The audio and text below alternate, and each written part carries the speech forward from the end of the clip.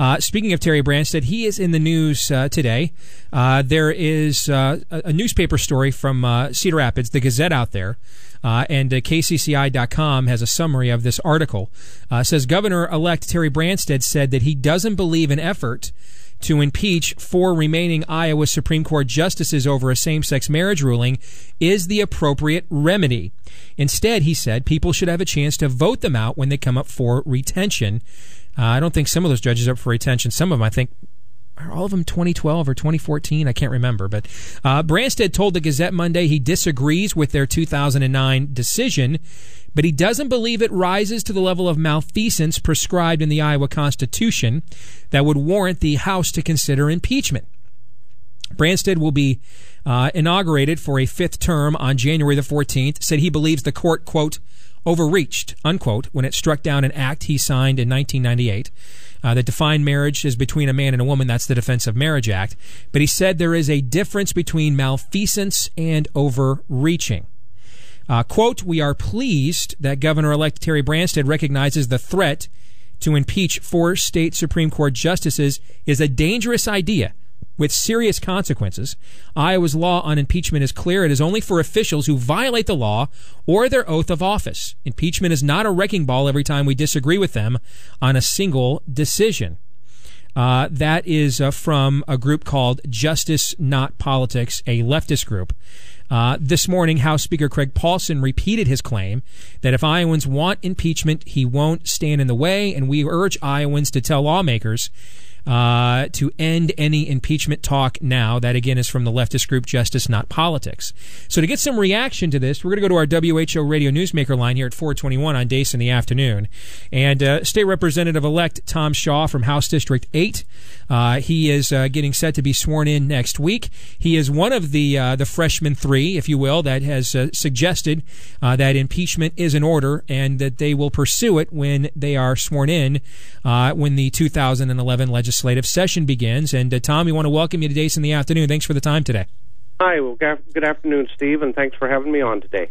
So, Tom, your overall reaction, let's just start from the top, your re- overall reaction uh, to Governor elect Terry Branstad's comments uh, today regarding whether or not uh, what the judges did in Varnum versus Brien rises to the level of impeachment, specifically the term malfeasance, and he claims it does not. What do you think?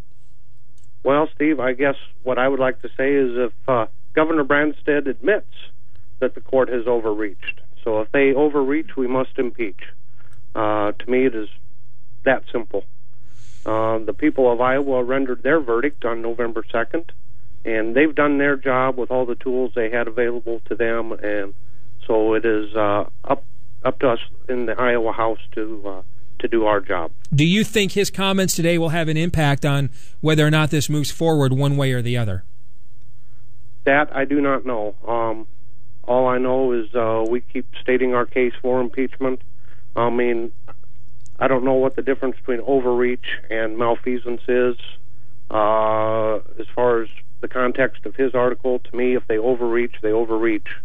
Um, article 3 of the Iowa Constitution on the distribution of powers says they cannot overreach. They cannot do the job of other the other uh, departments of state government, which mm-hmm. is what they clearly did. We're talking to uh, State Representative elect Tom Shaw here on our WHO radio newsmaker line on Deace in the afternoon. He's one of the uh, freshman uh, three legislators that have been in the news for the last few weeks pursuing per, uh, impeachment of the four remaining uh, state Supreme Court justices. Tom, do you have any idea when are those other four judges is up for retention? I can't remember. I think it was 2014, but those elections are not inexpensive. There's been, you know, some people who who don't want to look at the principle of this, just want to uh, look at it and say, hey, you know, is this really worth our time? Uh, and and they're saying, well, you know, this will take time, this will take money, etc. I would actually think going through retention elections for all four of those remaining judges would be a far more expensive proposition. But what do you think?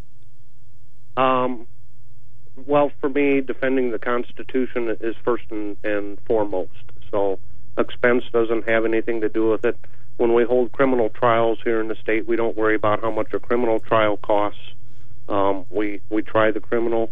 Um, if if, uh, in, if uh, we need to look at impeachment, get them impeached, send it over to the Senate, and let the Senate decide then what to do with it. Um, I don't think the trial is going to be all that expensive. Um, cost is not a concern to me. Tom, let's look at a couple of, uh, of, of, words that are involved here and, and, some terminology involved here. Let, us start with malfeasance. That was the word uh, Terry Branstad used in this piece, saying he didn't think it rose to that level of malfeasance. Now, those that listen to the show know I like to I like objective standards and definitions so that you know we can find what is the objective standard and then find out if what we think is true or not as opposed to everybody's having their own individual definitions of things and then it's that we don't really know what's true or not so I, I just did this crazy little thing i went to dictionary.com and i typed in the word malfeasance and, here's what it said the performance by a public official of an act that is legally unjustified, harmful, or contrary to law, wrongdoing that is an act in violation of a public trust, um, or an Ill, or a wrongful or illegal act by a public official. In your opinion, does what the judges did in Varnum versus Brien does it meet the the real world definition of the word malfeasance? It certainly does. Again, we'll go back to Article Three in the distribution of powers, and that was a wrongful action and an unconstitutional action meaning their attempt to amend Iowa's law from the bench by ordering county recorders to issue these licenses. Is that what you're saying?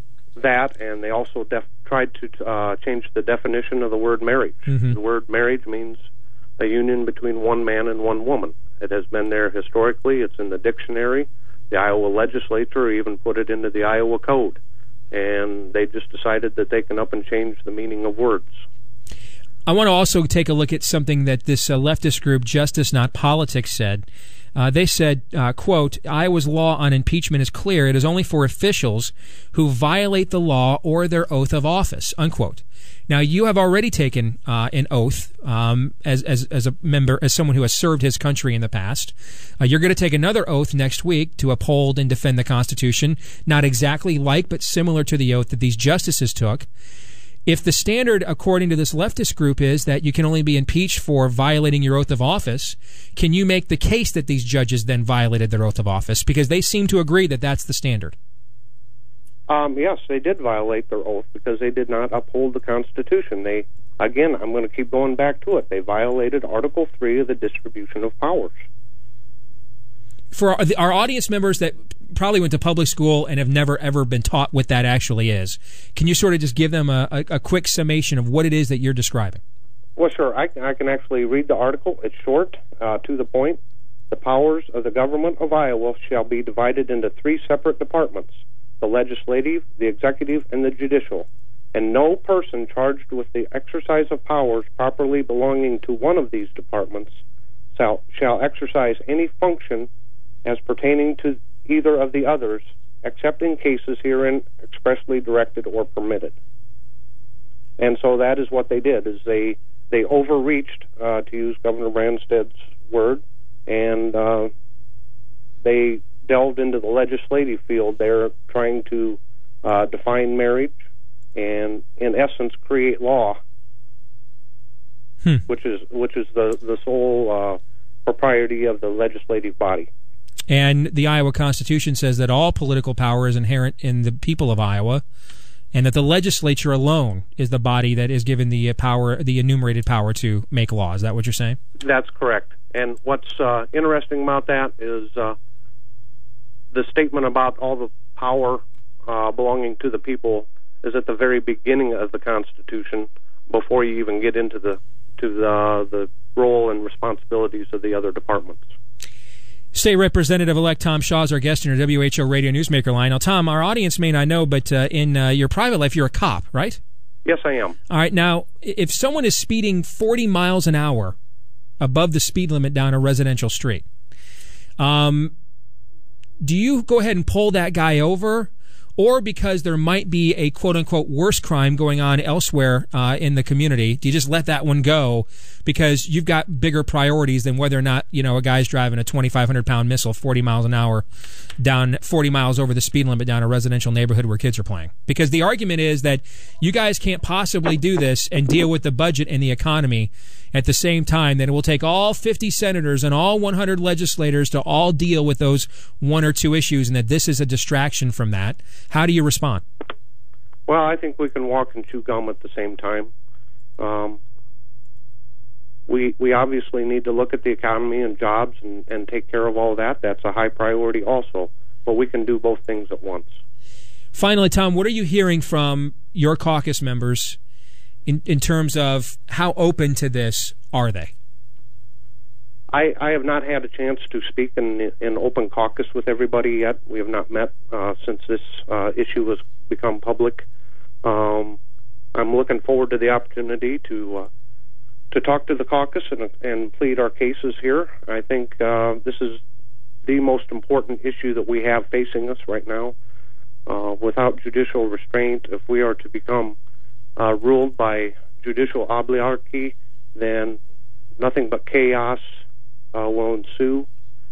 All of our rights are uh, subject to the to the judges, and uh, I, I just think that we need to take care of this. Tom, keep us posted on this. We appreciate your time. Okay. Okay. Thank you, Steve. All right. Take care, brother. Happy New Year.